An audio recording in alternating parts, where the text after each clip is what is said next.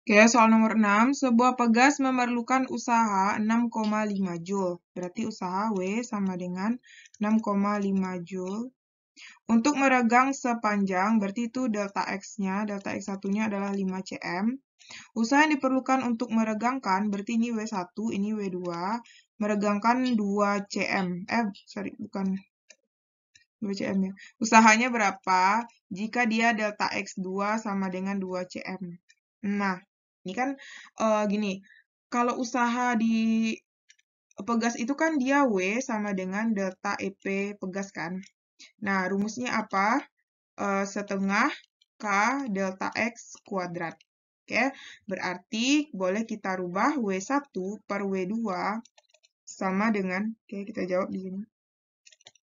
W1 per W2 sama dengan setengah K delta X1 kuadrat per setengah K kali delta X 2 kuadrat.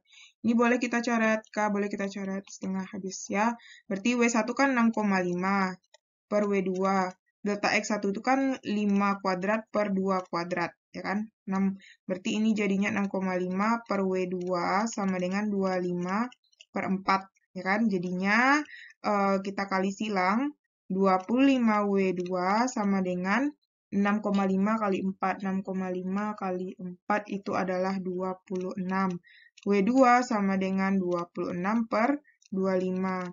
Jadi 26 bagi 25 itu adalah 1,04 Joule ya. Oke, jadi jawabannya adalah yang A.